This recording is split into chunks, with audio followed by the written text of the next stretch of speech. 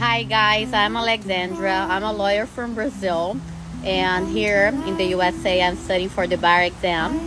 And let me show you how I'm studying really hard. Um, look at that. Yeah, I'm at the pool. Uh, the way how I study, I'm watching my two-year boy son swimming and the best way to study, I show you how. I bring my iPad and I'm doing this. I have an app called Bar Exam Drills. So I'm kind of studying, having fun. It's rare, it's really, it's really fun. So don't take a pressure. That's my advice for you. Don't pressure yourself. Try to enjoy the journey and good luck.